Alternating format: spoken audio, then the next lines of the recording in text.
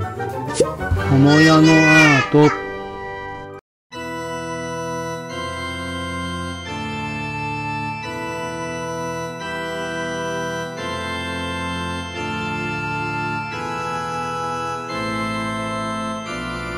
こんにちは、ともやです。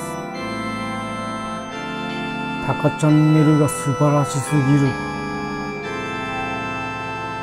僕はあの、子供の頃からトンネルズのファンでした。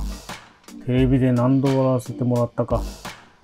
今回描いたイラストは、常に笑いの高みを目指し続けるタカさんを、お笑いの神に例えて、タカさんのタカと神様の神をドッキングして、高みと名付けてしまいました。昔のテレビはね、今みたいにコンプライアンス的に厳しくなかったんで、すごくトンネルズの良さを全面的に出せてましたからね。ホモだホモだったり、イボタカコ、もじもじくんとかいろんな面白いキャラを生み出していましたよね。それからね、テレビ自体が廃れて、テレビがどんどんトンネルズについていけなくなって、しまいにはトンネルズのテレビがなくなってしまいましたよね。そんな中、タカさんが YouTube に参入してくれました。その番組がね、なんとも素晴らしく、タカさんが生き生きしてるのなんのって、ほんと楽しそうでね、一ファンとして相当嬉しく思っています。特にね、好きなコーナーは東京アラートランというね、あの、コロナ禍で苦しむお店を回って、タカさんが忖度なしに感想を言う。まあ、それによってね、お店がさらに繁盛。さらにというか、苦しむ店を助けてあげるような企画なんですけどね。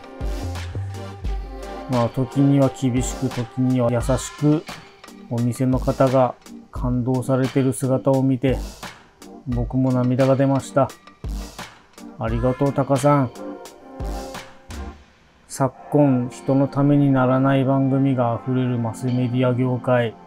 そんなとこにいるよりも、タカさんはね、この路線で好き放題やってください。これからも楽しみにしています。なんか、ホモだホモみたいなね、新たなキャラクターを作り出してほしいなとか。まあ、タカさんの人を面白くいじり倒す能力は次元が違いますよね。毎回大爆笑ですよ。あとは、較的コンプライアンスの緩い Amazon プライムとかで、まあね、例えるならまっちゃんのドキュメンタルみたいな感じで独自の番組を持ったりしたら、さらにタカさんの力が爆発的に発揮できると感じ取ります。皆さんもね、タカチャンネルを見てみてくださいよ。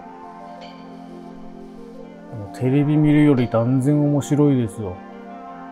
僕自身もね、これからも元気をいただきたく、見続けさせていただきます。タカチャンネルを作ったスタッフの皆さんもありがとうございます。